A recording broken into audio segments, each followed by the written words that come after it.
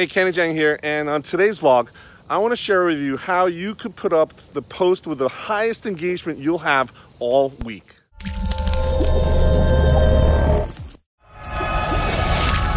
So if you've been following along for any bit of time, you've heard about my signature system for digital marketing success.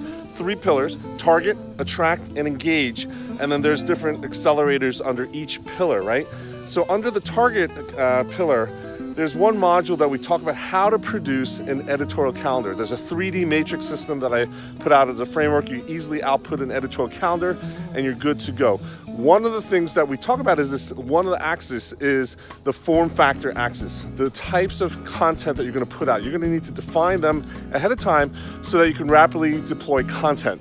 And we're talking about listicles, we're talking about video interviews, we're talking about um, how-to articles, we're talking about guest blog posts, etc., etc. One of them is the rant post, or the other other known category is pet peeves. Your pet peeves or your rants. And so that category always gets high engagement. And if you do it in a winsome way, you can do it with humor that brings the community together um, and builds that affinity for all that you have going on in your ecosystem. You want a live example, my good buddy Chuck Scoggins did this uh, this week. He put out a post about a, a, pet peeve about travel of his.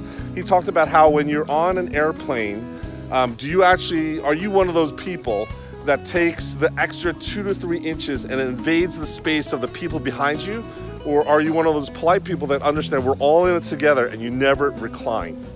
You could just imagine the banter that back went back and forth, especially as a couple of the guys actually self-identify themselves as those jerks, those guys that actually don't care about people around them and take that extra two to three inches and, and just recline all the way back.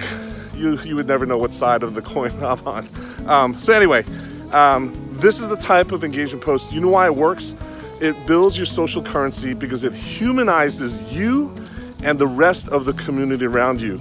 As people see other people chime in, that humanization allows them to have greater affinity for either your page, your group, or your personal brand, your own personal profile. So this is the th type of post that actually works to get people out of their lurking stage and actual, actual active commenting stage. But in, in the whole process, it actually builds your social currency.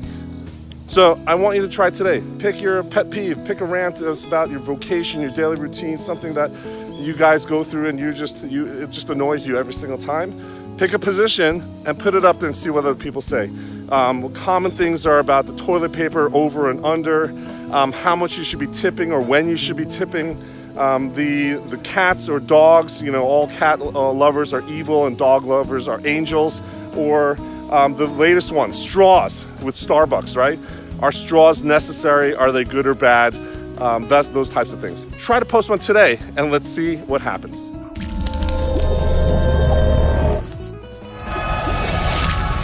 So that's your social media tip for the week.